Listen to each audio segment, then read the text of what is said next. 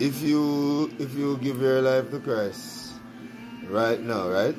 Let's say you give your life to Christ right now. And you trust him. If you sin, right? The Bible said you have an advocate. That doesn't mean you must go around and sin every day. But that means that God covers it. You understand? So you always have a chance of forgiveness with God because it's forgiveness and it is forever. God don't forgive you and take it back. You understand? His forgiveness is forever.